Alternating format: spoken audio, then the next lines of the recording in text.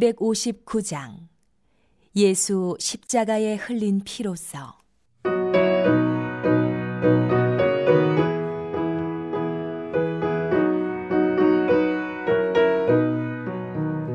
예수 십자가에 흘린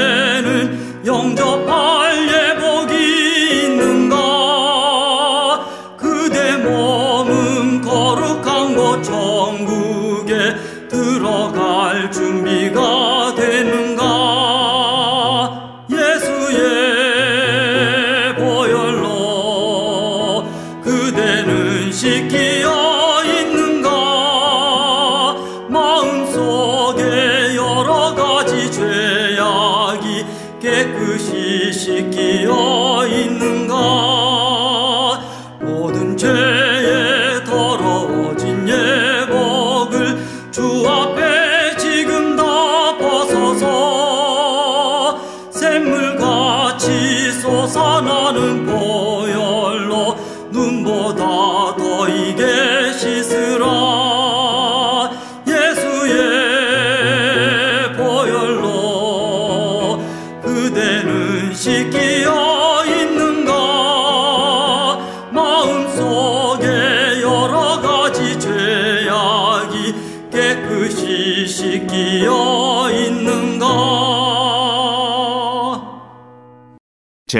22장.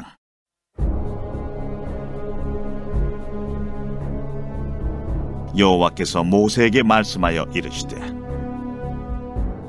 아론과 그의 아들들에게 말하여 그들로 이스라엘 자손이 내게 드리는 그 성물에 대하여 스스로 구별하여 내 성물을 욕되게 함이 없게 하라. 나는 여호와이니라. 그들에게 이르라. 누구든지 내 자손 중에 대대로 그의 몸이 부정하면서도 이스라엘 자손이 구별하여 여호와께 드리는 성물에 가까이 하는 자는 내 앞에서 끊어지니라 나는 여호와이니라 아론의 자손 중 나병 환자나 유출병자는 그가 정결하기 전에는 그 성물을 먹지 말 것이요. 시체의 부정에 접촉된 자나 설정한 자나 무릇 사람을 부정하게 하는 벌레에 접촉된 모든 사람과 무슨 부정이든지 사람을 더럽힐 만한 것에서 접촉된 자 곧 이런 것에 접촉된 자는 저녁까지 부정하니 그의 몸을 물로 씻지 아니하면 그 성물을 먹지 못할지며 해질 때에야 정하리니 그 후에야 그 성물을 먹을 것이니라 이는 자기의 음식이 됨이니라. 시체나 찢겨 죽은 짐승을 먹음으로 자기를 더럽히지 말라. 나는 여호와이니라. 그들은 내 명령을 지킬 것이니라. 그것을 속되게 하면 그로 말미암아 죄를 짓고 그 가운데서 죽을까 하노라. 나는 그들을 거룩하게 하는 여호와이니라. 일반인은 성물을 먹지 못할 것이며 제사장의 객이나 품꾼도 다 성물을 먹지 못할 것이니라. 그러나 제사장이 그의 돈으로 어떤 사람을 샀으면 그는 그것을 먹을 것이며 그의 집에서 출생한 자도 그렇게 하여 그들이 제사장의 음식을 먹을 것이며 제사장의 딸이 일반인에게 출가하였으면 거제의 성물을 먹지 못하되 만일 그가 과부가 되든지 이혼을 당하든지 자식이 없이 그의 친정에 돌아와서 젊으실 때와 같으면 그는 그의 아버지 몫의 음식을 먹을 것이나 일반인은 먹지 못할 것이니라. 만일 누가 부지 중에 성물을 먹으면 그 성물에 그것의 5분의 1을 더하여 제사장에게 줄지니라. 이스라엘 자손이 여호와께 드리는 성물을 그들은 속되게 하지 말지니 그들이 성물을 먹으면 그 죄로 인하여 청벌을 받게 할 것이니라. 나는 그 음식을 거룩하게 하는 여호와이니라. 여호와께서 모세에게 말씀하여 이르시되 아론과 그의 아들들과 이스라엘 온 족속에게 말하여 이르라. 이스라엘 자손이나 그 중에 거류하는 자가 소원 제물이나 자원 제물로 번제와 더불어 여호와께 예물로 드리려거든 기쁘게 받으심이 되도록 소나 양이나 염소의 흠 없는 수국수로 드릴지니 흠 있는 것은 무엇이나 너희가 드리지 말 것은 그것이 기쁘게 받으심이 되지 못할 것입니다. 만일 누구든지 소원한 것을 갚으려 하든지 자의로 예물을 드리려 하여 소나 양으로 화목제물을 여호와께 드리는 자는 기쁘게 받으심이 되도록 아무 흠이 없는 온전한 것으로 할지니 너희는 눈먼 것이나 상한 것이나 지체에 배임을 당한 것이나 종기 있는 것이나 습질 있는 것이나 비루 먹은 것을 여호와께 드리지 말며 이런 것들은 제단 위에 화제물로 여호와께 드리지 말라. 소나 양의 지체가 더하거나 덜하거나 한 것은 너희가 자원제물로는 쓰려니와 서원제물로 드리면 기쁘게 받으심이 되지 못하리라 너희는 고안이 상하였거나 치였거나 터졌거나 배임을 당한 것은 여호와께 드리지 말며 너희의 땅에서는 이런 일을 행하지도 말지며 너희는 외국인에게서도 이런 것을 받아 너희의 하나님의 음식으로 드리지 말라. 이는 결점이 있고 흠이 있는 것인즉 너희를 위하여 기쁘게 받으심이 되지 못할 것입니다. 여호와께서 모세에게 말씀하여 이르시되 수소나 양이나 염소가 나거든 이래 동안 그것의 어미와 같이 있게 하라. 여덟째 날 이후로는 여호와께 화제로 예물을 드리면 기쁘게 받으심이 되리라. 암소나 암양을 막론하고 어미와 새끼를 같은 날에 잡지 말지니라. 너희가 여호와께 감사 제물을 드리려거든 너희가 기쁘게 받으심이 되도록 드릴지며 그 제물은 그날에 먹고 이튿날까지 두지 말라. 나는 여호와이니라. 너희는 내 계명을 지키며 행하라. 나는 여호와이니라. 너희는 내 성호를 속되게 하지 말라. 나는 이스라엘 자손 중에서 거룩하게 함을 받을 것이니라. 나는 너희를 거룩하게 하는 여호와요. 너희의 하나님이 되려고 너희를 애굽 땅에서 인도하여 낸 자니 나는 여호와이니라.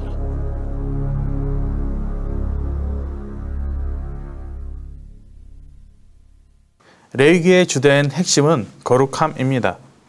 하나님은 이스라엘 백성에게 여러 율법을 알려주시면서 여호와 하나님의 백성으로서 거룩함을 지키도록 말씀을 하셨습니다. 그리고 오늘 레위기 22장에서는 여호와 하나님이 모세에게 나타나셔서 두 가지를 알려주십니다. 1절에서 16절에는 성물에 대하여 스스로를 구별하여 여호와의 성호를 욕되게 함이 없게 하라 이렇게 얘기하시고 그리고 17절에서 33절까지는 서원제물, 자원제물, 감사제물에 대한 예물이 어떤 것이 하나님을 기쁘게 하시는지 그걸 이제 설명해 주고 있습니다. 이렇게 오늘 22장을 저희가 쭉 읽을 때 두 가지의 문장이 여러 번 반복되는 것을 목격하셨을 것입니다. 바로 나는 여호와이니라 그리고 나는 무엇을 거룩해 거룩하게 하는 여호와이니라. 이미 앞서 얘기했겠지만 레이기에서는 하나님은 거룩을 정말 많이 강조하십니다. 그렇게 정말 여러 가지의 정결법을 알려주시면서 거룩함을 지키도록 인도해주고 계시죠. 그리고 오늘 함께 읽은 이 22장도 성물과 제물을 통해서 하나님은 어떻게 거룩함을 지킬 수 있는지 알려주고 계십니다. 이스라엘 백성에게 있어서 먹는 것과 그리고 제사를 드리는 것은 정말 일상에서 빼놓을 수 없는 아주 중요한 요소였습니다. 당연히 제사를 드리는 것은 너무나도 중요했죠. 하루 자신이 지은 죄를 회개하고 하나님께 제사를 드리고 또는 하나님께 감사를 드리면서 그 제사를 드려야 했기 때문에 어떻게 이 제사를 통해서 거룩함을 지킬 수 있는지를 아는 것은 너무나도 중요한 것이었습니다. 그리고 두 번째 먹는 것은 이 이스라엘 백성에게 있어서는 정말 너무나도 중요한 것이었습니다. 우리는 지금 너무나도 편하게 집에서 그냥 스마트폰으로 어플을 통해서 한 1분 아니 2분 뭐 결정 장애가 있어서 5분 정도 걸릴 수도 있겠지만 주문을 한번 하면 20분 늦어도 30분 40분 안에 음식이 배달이 됩니다. 또 집에서 스스로 해 먹기 위해서 밀키트를 사면 한 5분에서 10분 안에 요리가 준비가 됩니다. 너무나도 편한 세상이죠. 저희는 먹을 것을 준비할 때 깊이 고민하지 않고 최대한 빨리 효율적으로 준비하는 시대가 온 것을 목격할 수 있습니다. 그런데 이 고도 중동의 시기에는 요리를 한다는 것은 정말 쉽지 않은 일이었습니다. 정말 많은 시간을 투자해야 했죠. 그리고 특히 이렇게 이스라엘, 지금 이 출애굽 시대의 이스라엘에게 있어서 매번 이동을 해야 됐기 때문에 더더욱 요리를 한다는 것은 정말 쉽지 않았습니다. 이동을 하고 텐트를 세울 장소가 정해지면 텐트를 치고 요리를 하기 위해서 이제 밀을 곱게 갈아야 했고 그 밀로 이제 반죽을 해야 되고 그 기름을 굽거나 아니면 삶거나 아니면 뭐 찌거나 여러 방식으로 이제 준비를 하고 채소도 정말 구하기 힘들었습니다. 그리고 고기가 먹고 싶으면은 그때 그때 그 고기를 잡아야 했고 해체를 하고 또 하나님께서 말씀하신 정결법에 따라 다 진행해야 했었습니다. 이것만 해도 이렇게 정말 귀찮고 까다롭고 번거로운데 하나님은 이 음식에 관한 정결법을 11장에서 나열해 주시죠. 먹지 말아야 할 것들, 부정한 것들 이렇게 다 알려주십니다. 이렇게 정결법까지 다 지키면서 요리를 해야 했습니다. 그만큼 음식을 준비하는 과정은 많이 복잡했지만 이들에게 있어서 음식을 먹지 않으면 살, 살아남기 힘들기 때문에 꼭 필요한 순서였고 그들이 지켜야만 하는 것이었습니다. 하나님이 이 음식에 관하여 정결법을 알려주신 가장 큰 이유는 이 요리를 이 음식을 만드는데 더 이 순서를 더 복잡하게 하기 위해서가 아니었습니다. 이 음식을 준비하면서도 거룩함을 지킬 수 있도록 하나님은 훈련을 시키는 것이었습니다. 요리를 하면서 하나님을 기억하고 하나님의 구별된 자로서 하나님을 생각하며 살아가도록 하나님께서 하나하나 알려주고 계셨던 것이죠. 이스라엘 백성에게 있어서 요리하는 것은 음식을 준비하는 것은 일상이었습니다. 그렇기 때문에 그들이 음식을 준비하면서 하나님을 떠올리지 않을 수가 없었습니다. 음식을 준비하면서 이것은 정결한 것인지 이건 부정한 것이 아닌지 또 하나님께서 말씀 통해서 어떻게 말씀하셨는지 계속 떠올리면서 하나님의 거룩함을 지키면서 음식을 준비하고 하루하루를 살아갔던 것이죠.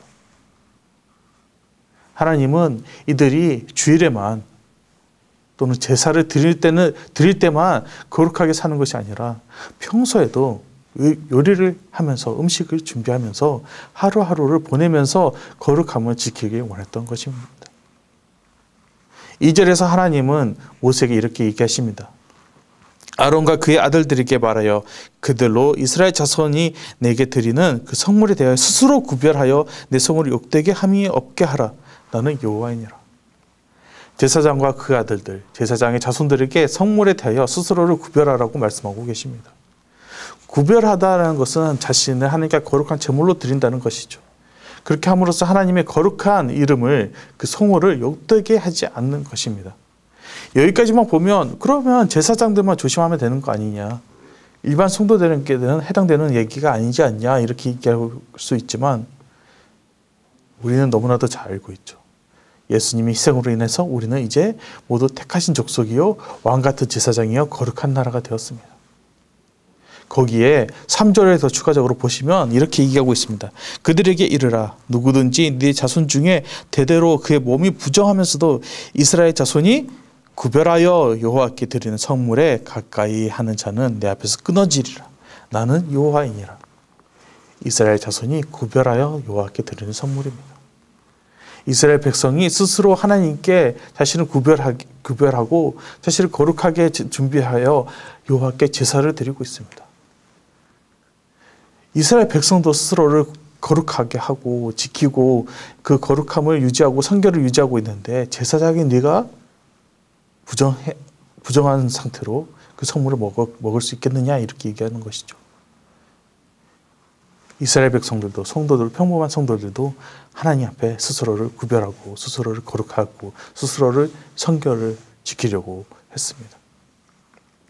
그리고 계속해서 4절에서 9절 보시면 나병 환자, 유출병, 시체의 부정, 사람을 부정하는 부정하게 하는 벌레 이, 등등 이 모든 것을 이미 11장, 12장, 13장, 14장, 15장 쭉 이어지면서 하나님께서 다 설명해 주고 계십니다. 어떻게 정결을 성결을 지켜야 할 것인지. 그 내용들을 하나님께서 다시 한번 22장에서 언급을 하고 계시면서 너 스스로를 더럽히지 말라고 말씀하시고 계십니다. 하나님은 나는 여호와니라 나는 그들을 거룩해, 거룩하게 하는 여호와니라 이렇게 얘기하시면서 너 스스로를 더럽히지 말라고 이야기하시면서 마무리를 하고 계십니다. 구절을 보시면 그들은 내 명령을 지킬 것이라 그것은 속되게 하면 그로 말미암아 죄를 짓고 그 가운데서 죽을까 하노라 나는 그들을 거룩하게 하는 여호와이니라 어디선가 많이 들어본 것 같은 구절이죠. 하나님이 아담과 아담에게 선악과를 두고 하신 말씀과 너무나도 비슷합니다. 하나님은 아담에게 분명하게 이 과실을 먹는 순간 너는 죽으리라 이렇게 말씀하셨습니다.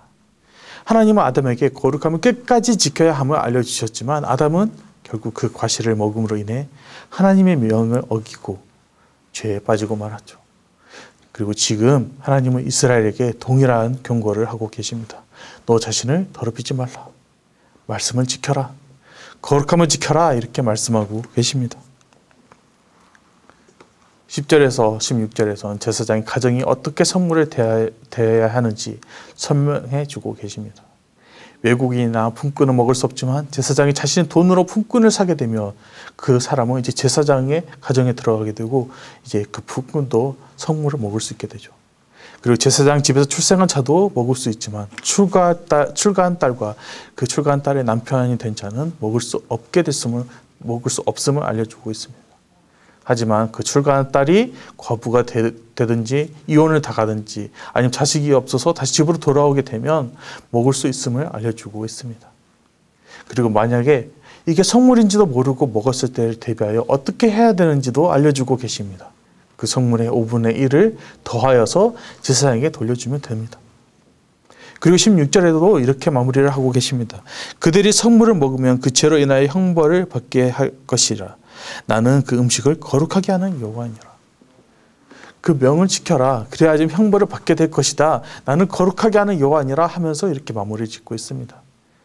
17절에서 33절의 내용이 제사에, 제사에 드릴 제물과 예물에 관하여서도 마찬가지로 설명하시고 마지막에 비슷하게 이렇게 마무리를 하십니다. 31절에 33절을 보시면 너희는 내 계명을 지켜 지키며 행하라. 나는 여호와니라. 너희는 내 성호를 속되게 하지 말라. 나는 이스라엘 자손 중에서 거룩하게 함을 받을 것이니라.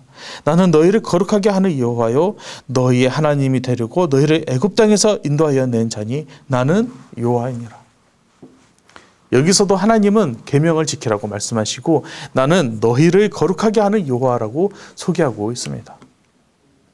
하나님은 하나하나 설명해 주시고 대신 더럽히지 말라. 나는 여호와니라. 나는 너희를 거룩하게 하는 여호와니라. 이렇게 설명하고 있습니다.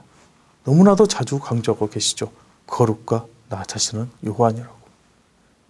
그리고 하나님은 너무나도 디테일하게 성물을 어떻게 먹고 왜 먹지 말아야 할 때는 언제고 또 어떻게 다시 먹을 수 있게 있을 때는 언제고 실수로 먹었을 때는 또 어떻게 해야 되는지 제사를 드릴 때는 또 어떤 예물을 기뻐하시고 어떤 예물을 싫어하시는지 어떤 예물은 이때 드리고 어떤 예물은 이때 드려야 되는지 하나하나 너무나도 자세히 설명해 주고 있습니다. 마치 어떤 제품에 대한 설명서 또는 FAQ 자주 질문하는 것들을 모아서 만든 그 페이지 우리가 뭔가 새로운 기기나 가전이나 물건을 들여놓았을 때 이것을 어떻게 사용해야 되는지 이것에 대한 정보가 없을지 없, 없을 때 우리는 그 설명서를 보거나 FAQ라는 란을 봅니다. 자주 하는 질문들을 모아서 그 질문과 그 답을 전부 다 모아놓은 페이지죠. 우리는 그 페이지를 보면서 아 이럴 때는 이렇게 하면 되는구나. 이 상황에서 이렇게 대처해야 되는구나 하면서 우리는 그 설명서를 잘 숙지를 합니다. 그렇게 숙지를 하고 나면 그 후로는 다시는 실수를 하지 않게 되고 너무나도 완벽하게 그 물건을 다루게 됩니다.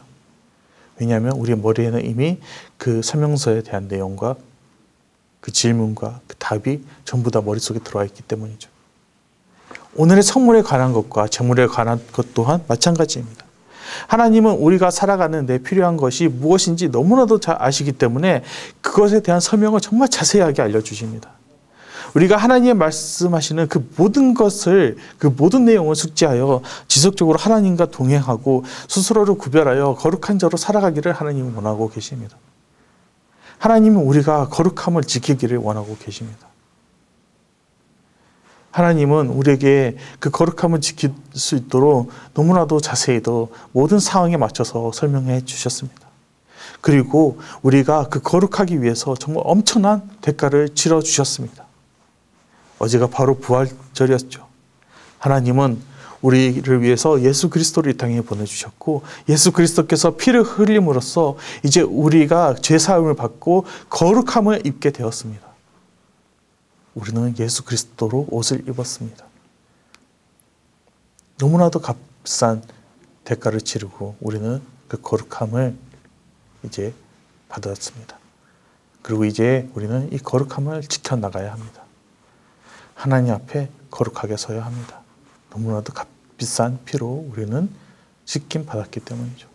그 거룩함을 지킬 수 있도록 하나님은 우리에게 그냥 거룩함을 지켜라 이렇게 얘기하고 끝을 내시는 것이 아니라 하나님은 이렇게 하면 이렇게 거룩함을 지킬 수 있다. 이런 상황에는 이렇게 행동하면 된다. 이런 상황에는 이렇게 이렇게 하면 된다. 이 모든 것을 다 설명해 주고 계십니다. 어려울 것이 없습니다. 그저 말씀을 보고 그 쓰여진 대로 순종하며 나아가면 됩니다. 정말 순수하게 말씀을 읽고 하나님을 만나고 그 음성을 듣고 순종하면 됩니다. 하나님이 예수 그리스도로 보내주심을 통해서 이 열어주신 그 거룩의 길을 우리는 따라가면 됩니다. 예수님께서 오셔서 그 복잡하고 복잡한 율법을 다 완성시키심으로써 이제 우리에게 더 나은 길을 제시해 주셨습니다. 우리가 해야 될 것은 예수 그리스도가 가신 길을 따라가는 것이면 됩니다. 그 거룩의 길을 말씀에 순종하면서 나가는 우리 서울 홍성교회 공동체가 되기를 간절히 소망합니다. 기도하겠습니다. 하나님 아버지 감사합니다. 하나님, 우리는 하나님이 주신 이 말씀을 너무도 가볍게 가볍게 여길 때가 있었던 것 같습니다. 하나님은 우리에게 이 말씀에 우리가 어떻게 거룩함을 지킬 수 있는지 전부 다 알려주셨습니다. 내가 살아가면서 부딪히게 될 모든 경우를 전부 다 기록해 주셨습니다. 우리가 하나님의 말씀을 읽을 때마다 예배를 드릴 때마다 과연 나는 지금 하나님 앞에 내가 어떤 내가 과연 정결하게 살고 있는지 회개할 죄는 없는지 내가 용서를 구해야 할 이유는 없는지 내가 살아가면서 성호를 욕되게 하지 않았는지를 점검하게 하시고 이 말씀으로 인하여 다시금 정결하게 되어 세상을 살아가고 있는데 흠이 없고 거룩한 삶이 되게 하여 주시옵소서. 이제 다시 여러 사람을 만나고 여러 일을 하고 여러 상황에 처하게 될 때 그 안에서 하나님의 말씀하신 거룩함을 지키고 세상에 예수 그리스도의 향기를 나타내게 하여 주시옵소서. 우리에게 이 거룩함의 길을 열어주신 주 예수 그리스도의 이름으로 기도드렸습니다. 아멘.